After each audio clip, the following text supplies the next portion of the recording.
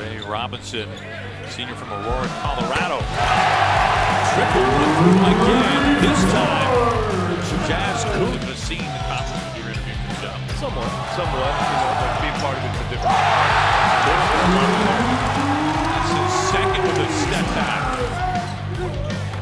Elleby left open for three, and he drills his third. He's got 15 in the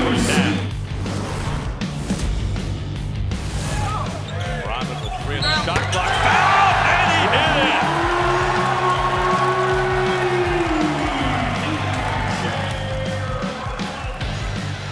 He came into tonight with just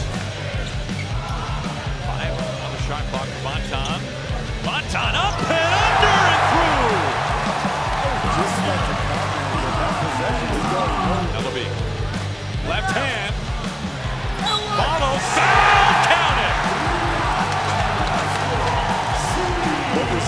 because that was a really nice first effort defensively by Chris Duarte. Pollard wide open off the window.